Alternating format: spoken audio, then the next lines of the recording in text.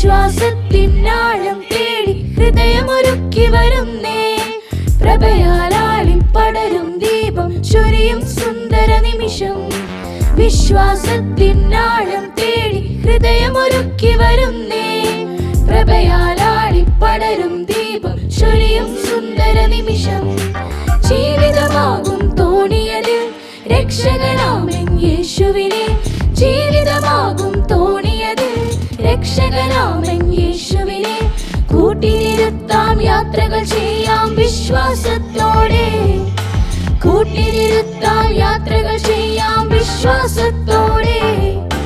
വിശ്വാസത്തിനാളും തേടി ഹൃദയമൊരുക്കി വരുന്നേ. പ്രഭയാലാളി പടരും ദീപം ചൊരിയും സുന്ദര നിമിഷം. വിശ്വാസത്തിനാഴം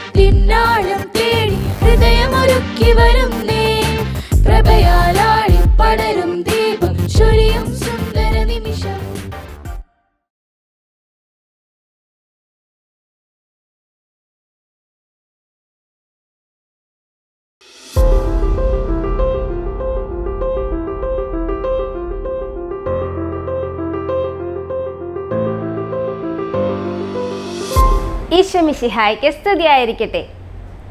എല്ലാവർക്കും സുഖമാണോ അപ്പം നമുക്കൊന്ന് പ്രാർത്ഥിച്ചു തുടങ്ങിയാലോ? ഇന്ന് ഞങ്ങൾ കേൾക്കാൻ പോകുന്ന പാഠഭാഗം നന്നായി ഗ്രഹിക്കാനും അവ ഞങ്ങളുടെ ജീവിതത്തിൽ അനുവർത്തിക്കുവാനുമുള്ള കൃപ നൽകണമേ. അമ്മേ മാതാവേ ഞങ്ങൾക്ക് വേണ്ടി മാധ്യസ്ഥം അപേക്ഷിക്കണമേ. ആമേ അപ്പം നാം ഇന്ന് പഠി പഠിച്ചുകൊണ്ടിരിക്കുന്ന പാഠഭാഗത്തിന്റെ പേരെന്താണ്? ആ ഇസ്രായേലിന്റെ തിരുനാളുകൾ. ആനി ഒന്ന് പറഞ്ഞു നോക്കിയേ. എന്തിനു വേണ്ടിയാണ് ഇസ്രായേൽ ജനത തിരുനാളുകൾ ആഘോഷിച്ചിരുന്നത്? ആ അവർ ദൈവം അവർക്ക് നൽകിയ വലിയ കാര്യങ്ങളെ കുറിച്ച് ഓർക്കാനും അവയെ പ്രതി നന്ദി അർപ്പിക്കാനും ചെയ്തു പോയ തെറ്റുകൾക്കെല്ലാം മാപ്പ് അപേക്ഷിക്കാനും വേണ്ടിയാണ്. വെരി ഗുഡ് ഇനി കഴിഞ്ഞ ക്ലാസ്സിൽ നാം മൂന്ന് തിരുനാളുകളെ പറ്റി കേട്ടു അല്ലേ? അലക്സാണ്ടറിന് ഓർമ്മയുണ്ടോ? അത് ഏതൊക്കെയാണെന്ന് ആ വെരി ഗുഡ് പുളിപ്പില്ലാത്ത അപ്പത്തിന്റെ തിരുനാൾ പെസഹ തിരുനാൾ കൂടര തിരുനാൾ. അപ്പൊ ഈ മൂന്ന് തിരുനാളുകൾ നാം കഴിഞ്ഞ ക്ലാസ്സിൽ പരിചയപ്പെട്ടു. ഇനി വിളവെടുപ്പിന്റെ ആരംഭത്തിൽ അവർ ആഘോഷിച്ചിരുന്ന തിരുനാളാണ് ആ പുളിപ്പില്ലാത്ത അപ്പത്തിന്റെ തിരുനാൾ. ഇസ്രായേൽ ജനത ഈജിപ്തിന്റെ അടിമത്തത്തിൽ നിന്ന് പുറത്തു കടന്നതിന്റെ ഓർമ്മയായിട്ടാണ് ഇസ്രായേൽ ജനം പെസഹ തിരുനാൾ ആചരിച്ചിരുന്നത്. ഇനി ഇസ്രായേൽ ജനത അടിപൊളിയായി ആഘോഷിച്ചിരുന്ന ഒരു തിരുനാളിനെ നാം പരിചയപ്പെട്ടല്ലോ. അതേതാണ്? ആ കൂടാര തിരുനാൾ. അപ്പൊ നാം ഇത്രയും തിരുനാളുകളെ കഴിഞ്ഞ ക്ലാസ്സിൽ കണ്ടു അല്ലേ? ഇനിയും കുറച്ച് തിരുനാളും കൂടി നമുക്കൊന്ന് പരിചയപ്പെടാം. അപ്പൊ നമുക്കാദ്യം പെന്തകുസ്ത തിരുനാളിനെ കുറിച്ച് പരിചയപ്പെട്ടാലോ? പെന്തകുസ്ത എന്ന വാക്കിന്റെ അർത്ഥം അമ്പതാം ദിവസം എന്നാണ്. പെന്തകുസ്ത എന്ന വാക്കിന്റെ അർത്ഥം എന്താണ്? അമ്പതാം ദിവസം. വിളവെടുപ്പ് ആരംഭിച്ച് അമ്പതാം ദിവസം ആഘോഷിച്ച് ദൈവത്തിന് നന്ദി അർപ്പിക്കാൻ വേണ്ടി ആഘോഷിച്ചിരുന്ന തിരുനാളാണ് പെന്തകുസ്ത തിരുനാൾ. അപ്പോൾ വിളവെടുപ്പിൽ നിന്ന് ലഭിക്കുന്ന ആദ്യ ഫലങ്ങളെല്ലാം അവർ ദൈവത്തിനെ ബലിയർപ്പിച്ചിരുന്നു. ഇനി മറ്റെല്ലാ ജോലികളിലെല്ലാം മാറ്റിവെച്ച് ദൈവത്തിനെ ബലിയർപ്പിക്കാൻ വേണ്ടി മാത്രം മാറ്റിവെക്കപ്പെട്ട ഒരു ദിനമായിരുന്നു പെന്തകുസ്ത തിരുനാൾ. സമൂഹത്തിൽ അവഗണിക്കപ്പെട്ട മറ്റെല്ലാവരെയും ഈ തിരുനാളിൽ അവർ പങ്കെടുപ്പിച്ചിരുന്നു. ഇനി ഇത് വിളവെടുപ്പിന്റെ തിരുനാൾ ആഴ്ചകളുടെ തിരുനാൾ ആദ്യ ഫലങ്ങളുടെ തിരുനാൾ എന്നെല്ലാം ഇതറിയപ്പെട്ടിരുന്നു. ഇനി ദൈവത്തിന്റെ നിർദ്ദേശപ്രകാരം ഇസ്രായേൽ ജനത പാപപരിഹാര ദിനം ആചരിച്ചിരുന്നു. യോം കിപ്പൂർ എന്ന ഹീബ്രു പദം കൊണ്ടാണ് ഈ ദിനത്തെ വിശേഷിപ്പിച്ചിരുന്നത്. ദൈവമായ കർത്താവിന്റെ പരിശുദ്ധിയും ഇസ്രായേൽ ജനതയുടെ പാപകരമായ അവസ്ഥയും ഈ പദം കൊണ്ട് സൂചിപ്പിക്കുന്നുണ്ട്. ഇനി പാപപരിഹാര ദിനം. അപ്പൊ പാപത്തിനെ പരിഹാരം ചെയ്യുക അല്ലേ? അപ്പൊ മറ്റുള്ളവരുമായി അനുരഞ്ജനപ്പെടാനും തങ്ങളുടെ തെറ്റുകൾക്ക് ദൈവത്തോട് മാപ്പ് അപേക്ഷിക്കാനുമായി മാറ്റിവെക്കപ്പെട്ട ദിനമായിരുന്നു പാപപരിഹാര ദിനം. അപ്പോൾ പാപപരിഹാര ദിനത്തോടനുബന്ധിച്ചിട്ടുള്ള ഹീബ്രു പദം ഏതാണ്? ആ ഇയോം കീപ്പൂർ. ഇനി ഇസ്രായേൽ ജനത കാനാൻ ദേശത്തേക്കുള്ള യാത്രാമധ്യയും കാനാൻ ദേശത്ത് എത്തിയതിനു ശേഷവും അവരുടെ ജീവിതത്തിൽ തിരുനാളുകൾക്ക് വലിയ പ്രാധാന്യമുണ്ടായിരുന്നു. അവർ ദൈവത്തിനെ നന്ദി അർപ്പിക്കുകയാണ് ഓരോ തിരുനാളിലൂടെയും ചെയ്തിരുന്നത്. ദൈവം അവർക്ക് വേണ്ടി നൽകിയ വലിയ കാര്യങ്ങളെക്കുറിച്ചെല്ലാം ഓർത്ത് ദൈവത്തിന് നന്ദി അർപ്പിക്കാനും ദൈവത്തോട് മാപ്പ് അപേക്ഷിക്കാനും വേണ്ടിയാണ് അവർ ഈ തിരുനാളുകളെല്ലാം ആഘോഷിച്ചിരുന്നത്. അപ്പോൾ പുതിയ നിയമജനതയായ സഭയിലും നാം കുറേ തിരുനാളുകൾ ആഘോഷിക്കുന്നുണ്ട് അല്ലേ? ഈശോ ഈശോയുമായി ബന്ധപ്പെട്ട് നാം തിരുനാളുകൾ ആഘോഷിക്കുന്നുണ്ട്. ഈശോയുടെ ജനനത്തെ അനുസ്മരിക്കുന്ന തിരുനാളാണ് ക്രിസ്തുമസ്. ദൈവപുത്രനായ ഈശോ മനുഷ്യപുത്രനായി പിറന്നതിന്റെ ഓർമ്മയാണ് ക്രിസ്തുമസ്. ഇനി എന്നാണ് ക്രിസ്തുമസ് ആഘോഷിക്കാറ്? ആ ഡിസംബർ ഇരുപത്തി അഞ്ചാം തീയതി. അതിനോടനുബന്ധിച്ച് നാം ഇരുപത്തഞ്ച് ദിവസത്തെ നോമ്പ് അനുഷ്ഠിക്കാറുണ്ട് അല്ലേ? ഇനി ഈശോയുടെ മാമോദിസായെ അനുസ്മരിക്കുന്ന തിരുനാളാണ് ധനഹ തിരുനാൾ. ജനുവരി ആറാം തീയതിയാണ് നാം ധനഹ തിരുനാൾ സഭയിൽ ആചരിക്കുന്നത്. ഈ ദനഹ തിരുനാളിനോടനുബന്ധിച്ച് നാം വീടുകളിൽ പിണ്ടി തെളിയിക്കാറുണ്ട്. കൂട്ടുകാരുടെ വീട്ടിലെല്ലാം പിണ്ടി തെളിയിക്കാറില്ലേ? ആ അപ്പോൾ ഈശോയുടെ മാമോദിസായെ അനുസ്മരിക്കുന്ന തിരുനാളാണ് ദനഹ തിരുനാൾ. ഇനി നമ്മുടെ സഭയിൽ വളരെ പ്രാധാന്യത്തോടെ ആചരിക്കുന്ന മറ്റൊരു തിരുനാളാണ് പെസഹ തിരുനാൾ. സെഹിയോൻ മാളികയിൽ വെച്ച് ഈശോ ശിഷ്യന്മാരോടൊപ്പം കഴിച്ച ഒടുവിലത്തെ അത്താഴമായിരുന്നു പെസഹ ഭക്ഷണം. അന്നാണ് ഈശോ വിശുദ്ധ കുർബാന സ്ഥാപിച്ചത്. അപ്പോൾ ഈശോ വിശുദ്ധ കുർബാന സ്ഥാപിച്ചതിന്റെ ഓർമ്മയായാണ് നാം പെസഹ തിരുനാൾ ആചരിക്കുന്നത്. അപ്പം നമ്മുടെ സഭയിൽ വളരെ പ്രാധാന്യത്തോടെ ആചരിക്കുന്ന ഒരു തിരുനാളാണ് പെസഹ തിരുനാൾ. ഇനി ദൈവം മനുഷ്യനായി അവതരിച്ചു പീഡകൾ സഹിച്ചു നമുക്ക് വേണ്ടി മരിച്ചു. മൂന്നാം ദിവസം ഉയർത്തെഴുന്നേറ്റു. അപ്പോൾ ഈശോയുടെ ഉയർത്തെഴുന്നേൽപ്പിനെ അനുസ്മരിക്കുന്ന തിരുനാളാണ് ആ ഉയർപ്പ് തിരുനാൾ അഥവാ ഈസ്റ്റർ. തിരുനാളുകളുടെ തിരുനാൾ എന്ന് ഇതിനെ വിശേഷിപ്പിക്കുന്നുണ്ട്. ഉയർപ്പ് തിരുനാളിനോടനുബന്ധിച്ച് നാം അമ്പത് ദിവസത്തെ നോമ്പ് അനുഷ്ഠിക്കാറുണ്ട്. എല്ലാ കുഞ്ഞുമക്കളും നോമ്പെടുക്കാറുണ്ടോ? ആ വെരി ഗുഡ് ഈശോയുടെ രക്ഷാകര പദ്ധതിയുടെ പൂർത്തീകരണമാണ് ഉയർപ്പ് തിരുനാൾ അതുകൊണ്ട് തന്നെ ഇതിനെ തിരുനാളുകളുടെ തിരുനാൾ എന്ന് വിശേഷിപ്പിക്കുന്നു. ഇനി നാം പരിചയപ്പെടാൻ പോകുന്ന അടുത്ത തിരുനാളാണ് സ്വർഗാരോഹണ തിരുനാൾ. ഈശോ ഉയർത്തതിനു ശേഷം നാൽപ്പതാം ദിവസം സ്വർഗത്തിലേക്ക് ആരോഹണം ചെയ്തു. ഈശോ എന്തിനു വേണ്ടിയാ ഭൂമിയിലേക്ക് വന്നത്? ആ മനുഷ്യരായ നമ്മെ പാപത്തിന്റെ അടിമത്തത്തിൽ നിന്നും രക്ഷിക്കാൻ. അങ്ങനെ മനുഷ്യരക്ഷ സാധിച്ചതിന് ശേഷം ഈശോ തന്റെ സ്വർഗപിതാവിന്റെ വലതുഭാഗത്ത് ഉപവിഷ്ടനായി. നമുക്കും ഒരിടം ഒരുക്കുന്നതിന് വേണ്ടി ദൈവം തിരിച്ചുപോയതിന്റെ ഓർമ്മയാണ് സ്വർഗാരോഹണ തിരുനാൾ ഇനി ഈശോ സ്വർഗാരോഹണം ചെയ്തതിന് ശേഷം പത്ത് ദിവസം കഴിഞ്ഞ് പരിശുദ്ധാത്മാവ് സ്ലീഹന്മാരുടെ മേൽ തീനാവുകളുടെ രൂപത്തിൽ എഴുന്നള്ളി വന്നതിനെ അനുസ്മരിക്കുന്ന തിരുനാളാണ് പന്തക്കുസ്ത തിരുനാൾ. അപ്പം നാം നമ്മെ എല്ലാ നേരവും നയിക്കുന്നത് ആരാണ്?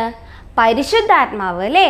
അപ്പം സഭയെ നയിക്കാനും സഭയിൽ നമ്മോടൊത്ത് വസിക്കാനും ഒക്കെയായി ആര് നമ്മുടെ കൂടെ ഉണ്ട് ആ പരിശുദ്ധാത്മാവ് നമ്മുടെ കൂടെ എപ്പോഴും ഉണ്ട് അപ്പം പരിശുദ്ധാത്മാവ് നമ്മുടെ കൂടെ വസിക്കുന്നതിന്റെ ഓർമ്മയായിട്ടാണ് നാം പെന്തകുസ്ത തിരുനാൾ ആചരിക്കുന്നത്. അപ്പോൾ നാം കുറേ തിരുനാളുകൾ ഇപ്പോൾ കണ്ടു അല്ലേ? ഇനി എല്ലാ തിരുനാളുകളും കൂട്ടുകാർ പങ്കെടുക്കാറുണ്ടോ? ആ നാം എല്ലാ തിരുനാളുകളിലും സംബന്ധിക്കാറുണ്ട്. ഇനി അതിന്റെ ആഘോഷങ്ങളിൽ മാത്രമല്ല കേട്ടോ ഓരോ തിരുനാളും വിശുദ്ധ ദിനങ്ങളാണ്. അതെല്ലാം ദൈവത്തിനെ നന്ദി അർപ്പിക്കാൻ വേണ്ടിയാണ് നാം ആഘോഷിക്കുന്നത്. അപ്പോൾ തിരുനാളുകൾ നാം അതിന്റെ അർത്ഥവും സന്ദേശവും എല്ലാം അറിഞ്ഞ് ആചരിക്കുമ്പോഴാണ് അത് ആത്മീയ വളർച്ചയ്ക്ക് കൂടുതൽ ഉപകാരപ്രദമാകുന്നത്. ഇനി എല്ലാ കൂട്ടുകാരും തിരുനാളുകൾ ആഘോഷിക്കുമ്പോൾ അതിന്റെ പ്രത്യേകതയും അതുമായി ബന്ധപ്പെട്ട എല്ലാ കാര്യങ്ങളും അറിഞ്ഞ് ദൈവത്തിന് നന്ദി അർപ്പിക്കാനായിട്ട് അത് പ്രയോജനപ്പെടുത്തണം. അപ്പോൾ നമുക്കൊരു നാല് വരി പാട്ട് പഠിച്ചാലോ? റെഡിയല്ലേ ഓരോ തിരുനാളും സന്തോഷദായകം ഓർമ്മകൾ പൂക്കുന്ന പൊൻദിനങ്ങൾ ഇസ്രായേൽ ആഘോഷപൂർവകമാക്കുന്ന പെസഹ തിരുനാളങ്ങോർത്തിടാം നാം? ഒരു വട്ടം കൂടി നമുക്കൊന്ന് പാടി നോക്കിയാലോ? ഓരോ ദിനങ്ങളും ഓരോ തിരുനാളും സന്തോഷത്തിന്റെ ദിനങ്ങളാണ്. ആ ദിനങ്ങളിലെല്ലാം നാം ദൈവത്തിനോട് നന്ദി അർപ്പിക്കണം. ഓരോ തിരുനാളും സന്തോഷദായകം ഓർമ്മകൾ പൂക്കുന്ന പൊൻദിനങ്ങൾ ഇസ്രായേൽ ആഘോഷപൂർവകമാക്കുന്ന പെസഹ തിരുനാളങ്ങോർത്തിടം നാം. അപ്പം നാം ഇന്ന് ഒരുപാട് തിരുനാളുകൾ പരിചയപ്പെട്ടു അല്ലേ? നമുക്കൊന്ന് ഓർത്ത് നോക്കിയാലോ നാം ഇന്ന് എന്തൊക്കെ തിരുനാളാണ് പരിചയപ്പെട്ടതെന്ന്? ഓക്കെ. അപ്പൊ പെന്തകുസ്ത എന്ന വാക്കിന്റെ അർത്ഥം ടീച്ചർ എന്താണ് പറഞ്ഞത്? ആ വെരി ഗുഡ്. അമ്പതാം ദിവസം. അപ്പൊ വിളവെടുപ്പ് ആരംഭിച്ച് അമ്പതാം ദിവസം ആഘോഷിക്കുന്ന തിരുനാളാണ് പെന്തകുസ്ത തിരുനാൾ. ഇനി വിളവെടുപ്പ് തിരുനാൾ ആഴ്ചകളുടെ തിരുനാൾ ആദ്യ ഫലങ്ങളുടെ തിരുനാൾ എന്നെല്ലാം ഇത് അറിയപ്പെടുന്നുണ്ട്. പാപപരിഹാര ദിനത്തെ വിശേഷിപ്പിച്ചിരുന്ന ഹീബ്രു പദത്തിന്റെ പേര് ഓർമ്മയിലുണ്ടോ? ആ യോം കീപൂർ മറ്റുള്ളവരുമായി അനുരഞ്ജനപ്പെടാനും ദൈവത്തോട് മാപ്പ് അപേക്ഷിക്കാനും വേണ്ടിയാണ് ഇസ്രായേൽ ജനത പാപപരിഹാര ദിനം ആചരിച്ചിരുന്നത്. ഇനി അവർ ഒരുപാട് തിരുനാളുകൾ ആഘോഷിച്ചിരുന്നതെല്ലാം എന്തിനു വേണ്ടിയാണ്? ദൈവത്തിനെ നന്ദി അർപ്പിക്കാൻ വേണ്ടി. ഇനി നാം ഈശോയുടെ ജനനത്തെ അനുസ്മരിക്കുന്ന തിരുനാളിനെ കണ്ട കുറിച്ച് പറഞ്ഞല്ലോ. ആ ക്രിസ്തുമസ്. ഈശോയുടെ മാമോദീസായി അനുസ്മരിക്കുന്ന തിരുനാളാണ് ആ ദനഹ തിരുനാൾ. ജനുവരി ആറാം തീയതിയാണ് നാം ധനഹ തിരുനാൾ സഭയിൽ ആചരിക്കുന്നത്. ഇനി സഭ വളരെ പ്രാധാന്യത്തോടെ ആഘോഷിക്കുന്ന മറ്റൊരു തിരുനാൾ നാം കണ്ടല്ലോ. ആ പെസഹ തിരുനാൾ. വിശുദ്ധ കുർബാനയുടെ സ്ഥാപനം ഓർമ്മിക്കുന്ന ദിവസമാണ് പെസഹ തിരുനാൾ. ഇനി ഈശോ മനുഷ്യനായി പിറന്ന് പീഡകൾ സഹിച്ച് മരിച്ച് മൂന്നാം ദിവസം ഉയർത്തെഴുന്നേറ്റു. ഉയർപ്പിനെ അനുസ്മരിക്കുന്ന തിരുനാളാണ് ഉയർപ്പ് തിരുനാൾ അഥവാ ഈസ്റ്റർ. ഇതിനെ തിരുനാളുകളുടെ തിരുനാൾ എന്നും വിശേഷിപ്പിക്കുന്നു. ഉയർപ്പിന് ശേഷം നാൽപ്പതാം ദിവസം ഈശോ സ്വർഗത്തിലേക്ക് ആരോഹണം ചെയ്തു. അതിനനുസ്മരിക്കുന്ന തിരുനാളാണ്? ആ സ്വർഗാരോഹണ തിരുനാൾ.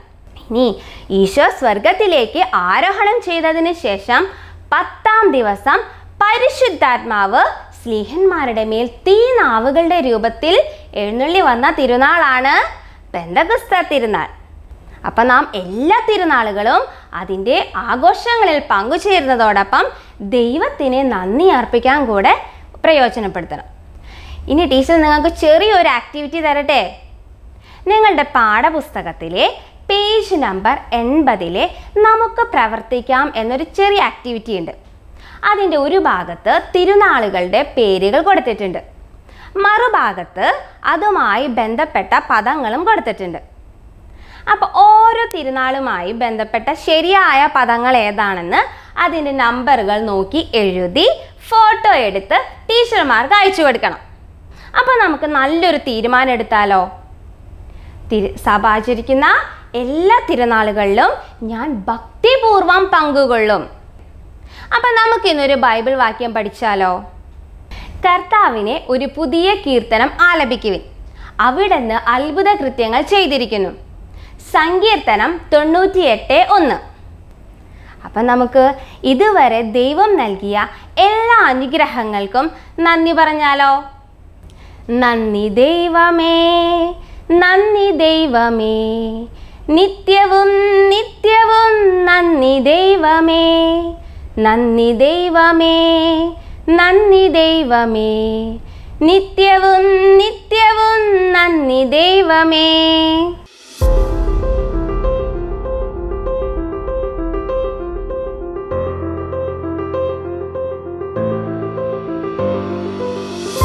യേശു മിഷിഹായ്ക്ക് സ്തുതിയായിരിക്കട്ടെ.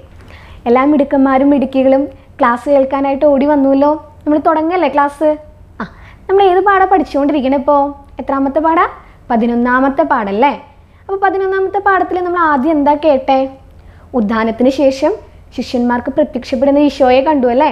തുടർന്ന് ഒരു അപരിചിതനെ പോലെ അവരുടെ കൂട്ടത്തിൽ കൂടി അവരുടെ വിഷമങ്ങളും ദുഃഖങ്ങളും നിരാശകളൊക്കെ മാറ്റിക്കൊടുക്കുന്ന ഒരു നല്ല കൂട്ടുകാരനായിട്ടുള്ള ഈശോയെ കണ്ടുവല്ലോ നമ്മൾ കണ്ടു. ഇനി നമ്മൾ എന്ത് പറഞ്ഞിട്ടാണ് ക്ലാസ് അവസാനിപ്പിച്ചേ?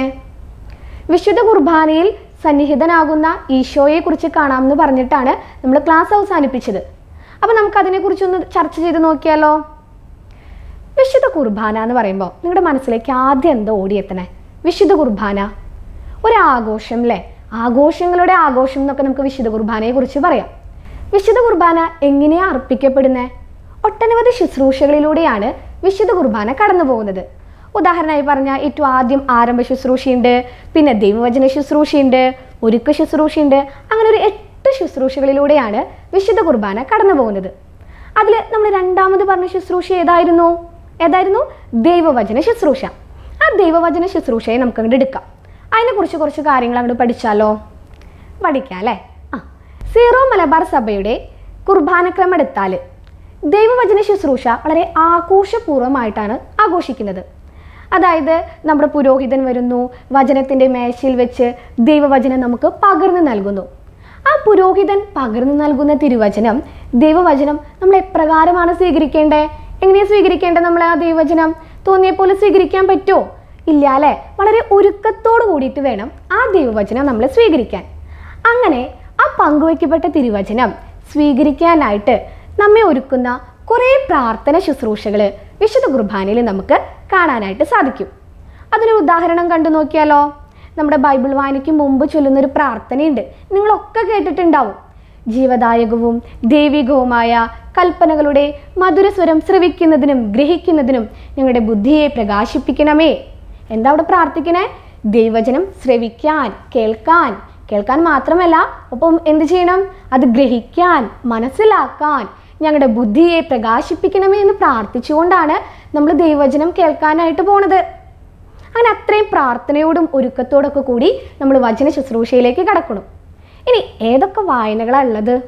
നമ്മുടെ ഞായറാഴ്ചത്തെ കുർബാന ഒന്ന് എടുത്തു നോക്കിയേ. അതിൽ ഏതൊക്കെ വായനകളാണ് ഉള്ളത്? നിങ്ങളൊന്ന് പറഞ്ഞു നോക്കിയേ. ഏതൊക്കെയാ? ആ നിങ്ങൾ പറയുന്നുണ്ട് പഴയ നിയമത്തിൽ നിന്നുണ്ട് പുതിയ നിയമത്തിൽ നിന്നും വായനകളുണ്ട് അല്ലേ? നമ്മൾ പഴയ നിയമത്തിലേക്ക് കടക്കുമ്പോൾ അവിടെ നിയമഗ്രന്ഥങ്ങളിൽ നിന്നും പ്രവാചക ഗ്രന്ഥങ്ങളിൽ നിന്നുമാണ് വായനകളുള്ളത് ഇനി പുതിയ നിയമത്തിലേക്ക് കടക്കുമ്പോൾ അതിൽ സുവിശേഷങ്ങളിൽ നിന്നും ലേഖനങ്ങളിൽ നിന്നുമാണ് വായനകളുള്ളത്. അപ്പോൾ നാല് വായനകൾ നമ്മൾ പരിചയപ്പെട്ടു. ഏതൊക്കെയാ? നിയമഗ്രന്ഥങ്ങളിൽ നിന്ന് പ്രവാചക ഗ്രന്ഥങ്ങളിൽ നിന്ന് സുവിശേഷങ്ങളിൽ നിന്ന് ലേഖനങ്ങളിൽ നിന്ന്. അങ്ങനെ ദൈവവചന ശുശ്രൂഷയിലെ വായനകളും നമ്മൾ പരിചയപ്പെട്ടു. ഇനി ദൈവവചന ശുശ്രൂഷയിൽ ഈശോ നമ്മെ വചനത്താൽ വിശുദ്ധീകരിക്കുകയാണ്. അങ്ങനെ വചനത്താൽ വിശുദ്ധീകരിച്ച് വിശുദ്ധ കുർബാന ഒരു നല്ലൊരു ബലി അർപ്പിക്കാനായിട്ട് നമ്മെ ഒരുക്കുകയാണ് ചെയ്യുന്നത്. ഇതിനേക്കാൾ ഒക്കെ ഉപരി ഏറ്റവും പ്രധാനപ്പെട്ട ഒരു കാര്യമുണ്ട്. വിശുദ്ധ കുർബാനയിൽ എന്താ സംഭവിക്കണേ? വിശുദ്ധ കുർബാനയിലെ ദൈവവചന ശുശ്രൂഷയിൽ എന്താ സംഭവിക്കണേ? നിങ്ങൾക്ക് അറിയോ അതെന്താണ്? നമ്മൾ നോക്കുമ്പോൾ പുരോഹിതൻ ബൈബിൾ വായിക്കുന്നു ശുശ്രൂഷി ബൈബിൾ വായിക്കുന്നു. പക്ഷേ അതിനേക്കാളൊക്കെ ഉപരി ഈശോ നമ്മോട് സംസാരിക്കുന്ന സമയമാണ് ആ ദൈവവചന വായനയുടെ സമയം. ഈശോ വളരെ സീരിയസ് ആയിട്ട് നമ്മളോട് വചനത്തിലൂടെ സംസാരിക്കുകയാണ്. ആ സമയത്ത് നമ്മൾ അങ്ങോട്ടും ഇങ്ങോട്ടും നോക്കിയിരുന്നാൽ ശരിയാവോ? ചില കുഞ്ഞു കുട്ടികൾ കുറുമ്പമാരെ ചീന കാണാം. അവനെ തോണ്ടി ഇവനെ തോണ്ടി വർത്താനം പറഞ്ഞൊക്കെ നിൽക്കൂലേ ആ വചന വായനയുടെ സമയത്ത്? പക്ഷെ ഈശോ നമ്മോട് സംസാരിക്കുന്ന സമയം അത്. ആ സമയത്ത് നമ്മൾ എങ്ങനെയാ നിൽക്കണ്ടേ? കൈയൊക്കെ കൂപ്പി കണ്ണൊക്കെ അടച്ച് ദൈവം പറയണത് കേൾക്കാൻ കാതോർത്ത് നിൽക്കണം. ഇനി അങ്ങനെ നിൽക്കില്ലേ നിങ്ങൾ കുറുമ്പ് കാണിക്കുന്നവരൊക്കെ വചന വായനയുടെ സമയത്ത് നല്ല കുട്ടികളായിട്ട് ഈശോ നമ്മളോട് എന്താ പറയണേന്ന് കേൾക്കാനായിട്ട് നിങ്ങൾ നിൽക്കില്ലേ നല്ല കുട്ടികളായിട്ട്? നിങ്ങൾ നിൽക്കും ടീച്ചർക്കറിയാം. നിങ്ങൾ മിടുക്കന്മാരും മിടുക്കികളാണല്ലേ? അപ്പോൾ വിശുദ്ധ കുർബാനയിലെ ദൈവവചന ശുശ്രൂഷയെക്കുറിച്ച് കുറച്ച് കാര്യങ്ങൾ നമ്മൾ പരിചയപ്പെട്ടു. ഇനി നമ്മൾ അടുത്തത് പറയാൻ പോകുന്നത് വിശുദ്ധ കുർബാനയിൽ സന്നിഹിതനാകുന്ന ഈശോയെക്കുറിച്ചാണ്. അപ്പോൾ അതിലേക്ക് കടക്കണേറ്റ് മുമ്പ് ടീച്ചർ അടുത്ത ചോദ്യം നിങ്ങളോട് ചോദിക്കുകയാണ്. യേശു അർപ്പിച്ചൊരു ബലിയുണ്ട്. ഏറ്റവും വലിയൊരു ബലി. ആ ഒരു ബലി ഏതാന്ന് നിങ്ങൾക്കറിയും? ഗാഗുൽത്ത മലയിലെ ഈശോയുടെ കുരിശുമരണം എന്ന ആ ഒരു വലിയ ബലി. ആ ഗാഗുൽത്ത മലയിലെ ആ വലിയ ബലിയുടെ നവമായിട്ടുള്ളൊരു അവതരണമാണ് നമ്മുടെ ഇന്നത്തെ വിശുദ്ധ കുർബാന എന്ന് പറയുന്നത് അപ്പോൾ ആ ഗാഗുൽത്ത മലയിൽ ബലി അർപ്പിച്ചത് ആരാ? ആരാ അർപ്പിച്ച ബലി? ഈശോയാണല്ലേ അർപ്പിച്ചേ. അപ്പം നമ്മുടെ ഈ വിശുദ്ധ കുർബാന യഥാർത്ഥത്തിൽ ആരാണ് അർപ്പിക്കുന്നത് പുരോഹിതനാണോ യഥാർത്ഥത്തിൽ വിശുദ്ധ കുർബാന അർപ്പിക്കുന്നത്? അല്ല ഈശോ തന്നെയാണ് വിശുദ്ധ കുർബാന എന്ന ബലി യഥാർത്ഥത്തിൽ നമുക്ക് വേണ്ടി അർപ്പിക്കുന്നത്. ഇനി വിശുദ്ധ കുർബാനയുടെ ഏറ്റവും പ്രധാനപ്പെട്ട ഒരു കാര്യമുണ്ട്. എന്താണ് നിങ്ങൾക്കറിയും? വിശുദ്ധ കുർബാന എന്താണെന്ന് ചോദിച്ചാൽ ഇപ്പം നിങ്ങളോട് ഒരാൾ വന്ന് ചോദിക്കുകയാണ് നിങ്ങളുടെ വിശുദ്ധ കുർബാന എന്താണെന്ന് ചോദിച്ചാൽ നിങ്ങൾക്ക് പറയാനായിട്ട് കിട്ടണം. ഈശോയുടെ ജനനം മുതൽ രണ്ടാമത്തെ ആഗമനം വരെയുള്ള മിശിഹ രഹസ്യത്തിന്റെ അവതരണമാണ് നമ്മുടെ വിശുദ്ധ കുർബാന. കിട്ടിയില്ല അവർക്കത് ഇമ്പോർട്ടന്റ് ആയിട്ടുള്ള കാരണ കാര്യമാണ് കേട്ടോ. ഈശോയുടെ ജനനം മുതൽ രണ്ടാമത്തെ ആഗമനം വരെയുള്ള മിശിഹ രഹസ്യത്തിന്റെ ഏറ്റവും ഏറ്റവും മനോഹരമായിട്ടുള്ള ഏറ്റവും ശ്രേഷ്ഠമായിട്ടുള്ള ഒരു അവതരണം. അപ്പോൾ നമ്മൾ ഈ ക്രിസ്ത്യാനികളെ സംബന്ധിച്ചിടത്തോളം വിശുദ്ധ കുർബാനയ്ക്ക് വളരെയധികം പ്രാധാന്യമുണ്ട് അല്ലേ? അതുകൊണ്ട് തന്നെ ക്രിസ്തീയ ജീവിതത്തിന്റെ കേന്ദ്രമാണ് നമ്മുടെ വിശുദ്ധ കുർബാന. അപ്പോൾ വിശുദ്ധ കുർബാനയെക്കുറിച്ചുള്ള കുറച്ച് വിശേഷണങ്ങളൊക്കെ നമ്മൾ കിട്ടി. ആദ്യം നമ്മൾ പറഞ്ഞു ഗാഗുൽത്ത മലയിൽ അർപ്പിച്ച ബലിയാണ് വിശുദ്ധ കുർബാന എന്ന് പറഞ്ഞു. പിന്നെ നമ്മൾ എന്ത് പറഞ്ഞു? ഈശോയുടെ ജനനം മുതൽ രണ്ടാമത്തെ ആഗമനം വരെയുള്ള ഒരു മിശിക രഹസ്യമാണെന്ന് പറഞ്ഞു. ഇപ്പം നമ്മൾ പറഞ്ഞു നമ്മുടെ ക്രിസ്തീയ ജീവിതത്തിന്റെ കേന്ദ്രമാണ് വിശുദ്ധ കുർബാന എന്ന് പറഞ്ഞു. ഇനി നമുക്കൊരു അടുത്തൊരു വിശേഷണം നോക്കാം. വിശുദ്ധ കുർബാനയുടെ അടുത്തൊരു വിശേഷണം. നമ്മൾ പറഞ്ഞു വിശുദ്ധ കുർബാന ഒരു ബലിയാണെന്ന് പറഞ്ഞു അല്ലേ? അതുപോലെ തന്നെ വിശുദ്ധ കുർബാന ഒരു വിരുന്നും കൂടിയാണ്. ഏറ്റവും മഹത്തായ ഒരു വിരുന്ന്. അപ്പോൾ നമുക്കൊക്കെ വിരുന്നിനെ നമ്മളെയൊക്കെ ഓരോരുത്തർ വിരുന്നിന് ക്ഷണിക്കൂ അല്ലേ? അപ്പോൾ നമ്മളെങ്ങനെയാ വിരുന്നിന് പോവും? ആ വിരുന്നിലെ ഏറ്റവും പ്രധാനപ്പെട്ട കാര്യം എന്തുട്ടാ? ആ എന്താ? ഫുഡാണല്ലേ? ഭക്ഷണ പാനീയങ്ങളാണ് ഏറ്റവും പ്രധാനപ്പെട്ട കാര്യം. ഇതുപോലെ ഈശോ അർപ്പിക്കുന്ന വിശുദ്ധ കുർബാന എന്ന വിശുദ്ധമായ വിരുന്നിലും ഈശോ നമുക്ക് ഭക്ഷണപാനീയങ്ങൾ നൽകുന്നുണ്ട്. ഏതാ ഭക്ഷണപാനീയങ്ങൾ എന്നറിയോ? ഈശോയുടെ ശരീരവും രക്തവും എന്ന വിശുദ്ധമായ ഭക്ഷണപാനീയങ്ങളാണ് ഈശോ നമുക്ക് നൽകുന്നത്.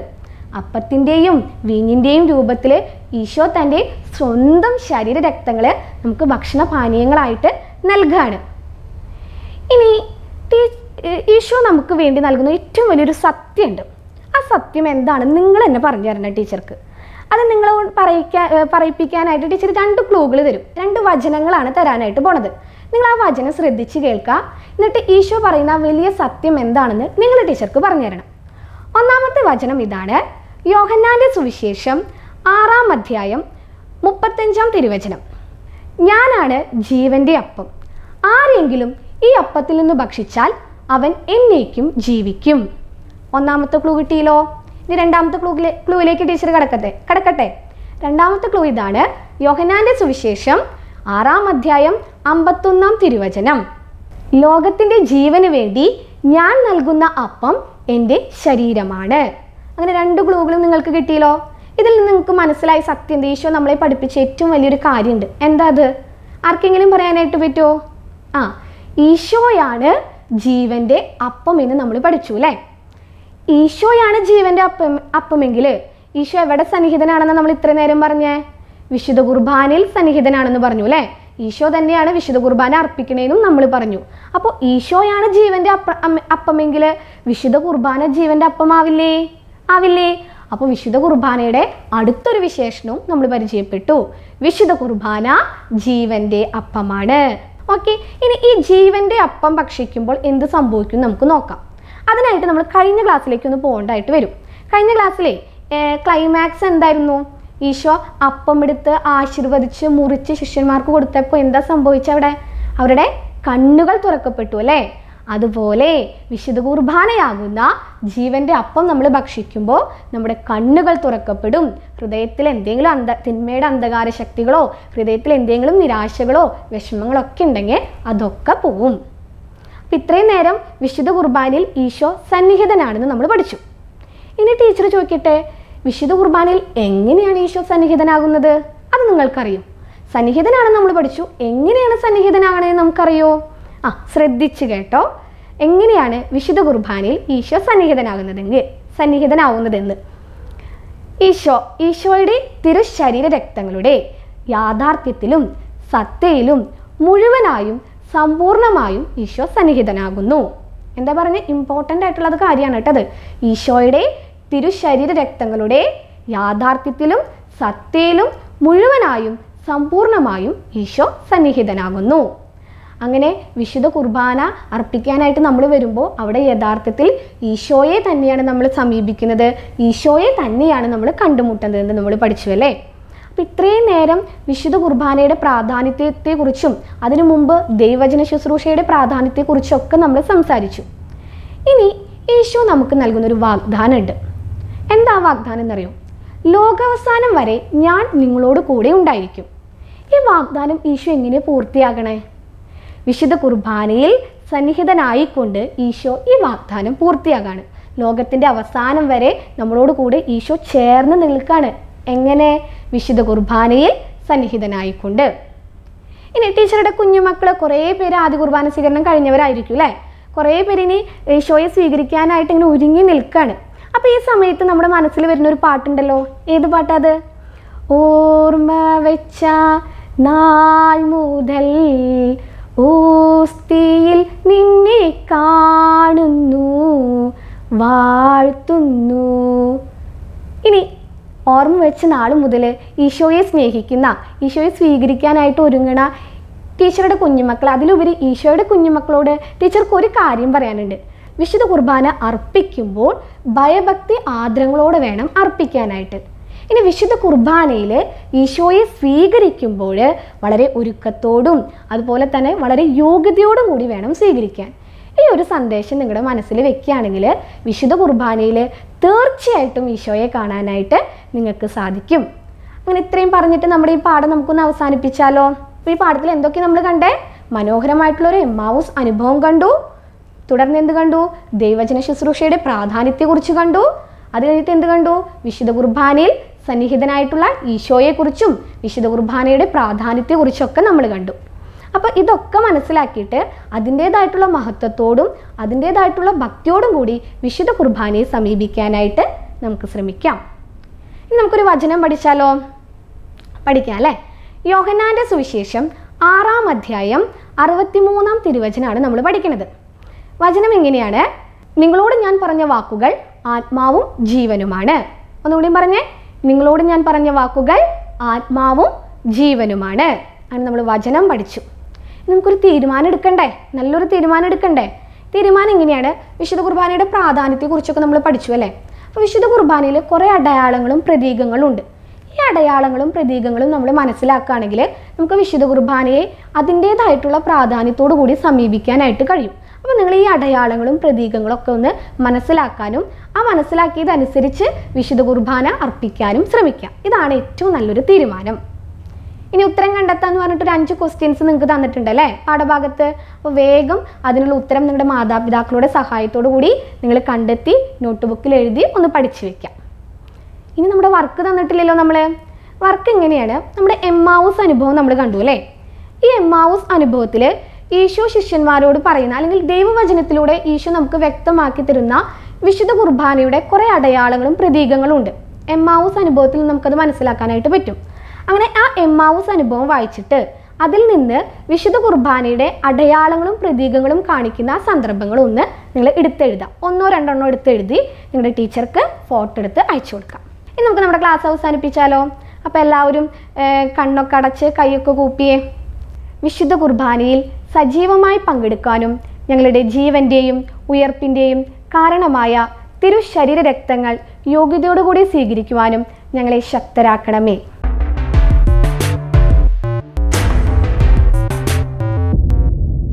വിശ്വാസത്തിനാഴം തേടി ഹൃദയമൊരുക്കി വരുന്നേ. പ്രഭയാലാളി പടരും ദീപം ചൊരിയും സുന്ദര നിമിഷം. വിശ്വാസത്തിനാഴം തേടി ഹൃദയമൊരുക്കി വരുന്നേ. പ്രഭയാലാളി പടരും ദീപം ശുരിയും സുന്ദര നിമിഷം. ജീവിതമാകും തോണിയതിൽ രക്ഷകനാമൻ യേശുവിനെ. ജീവിതമാകും തോണിയതിൽ രക്ഷകനാമൻ യേശുവിനെ. കൂട്ടിനിരുത്താം യാത്രകൾ ചെയ്യാം വിശ്വാസത്തോടെ. കൂട്ടിനിരുത്താൽ യാത്രകൾ ചെയ്യാം വിശ്വാസത്തോടെ. വിശ്വാസത്തിൻ നാളം തേടി ഹൃദയമൊരുക്കി വരുന്നേ പ്രഭയാലാളി പടരും ദീപം ചൊരിയും സുന്ദര നിമിഷം.